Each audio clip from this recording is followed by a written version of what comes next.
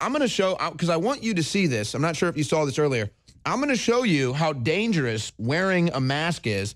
I have a carbon dioxide meter here, Gavin, and I have Okay. an N- N95 mask. I'm going to put this on right now. Put on my clown mask.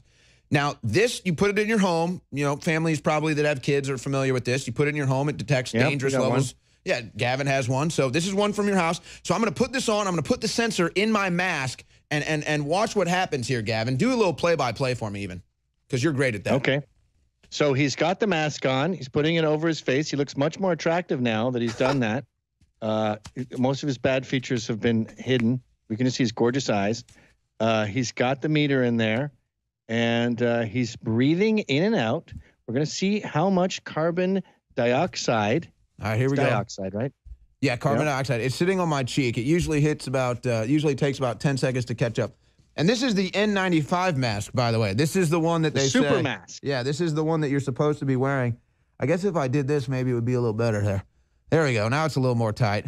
All right, so give it a couple seconds here. But if this alarm goes off, Gavin, that means I'm inhaling dangerous levels of carbon dioxide. Oh, there it goes. There it goes, Gavin.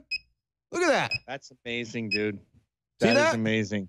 Now, if this if this alarm was going off in your house, would you get your kids out of there? Yeah, we'd have a major problem. I believe my system goes right to the fire department and they come by immediately. Yeah. So look at the I don't have levels. to push a button. Look at the levels. They're shooting up close to 5,000. They're now over 5,000, Gavin. Look at that.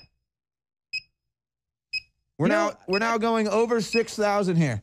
And I don't even have it in front of my mouth. It's on my cheek. So this is just th- this is just the air in my mask. Guys, go back to the meter. Look at that, Gavin. Over 6,000 now. And so now, I mean, folks, it, you can go look at this for yourself. If it reaches certain levels, you can have uh, long-lasting effects, folks. So, so there you go, Gavin. So this is what they want us to do, Gavin. They want us to breathe in deadly air.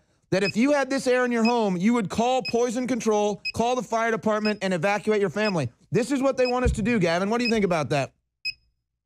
I don't want to get too biblical on your ass, but this sounds satanic. It's Luciferian. How did God design us? He designed us to take in oxygen and breathe out CO2. Then he designed trees to reverse the process, and we all work together equally. When we put masks on, we inhibit the system that he created. And the next thing you know, we're suffocating ourselves. This is like with people with the exhaust in their car in the garage trying to commit suicide.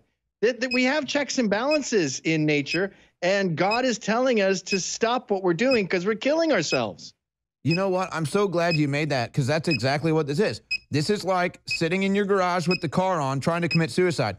Folks, I'm now, I, I just went over 10,000, Gavin. We just maxed out the meter.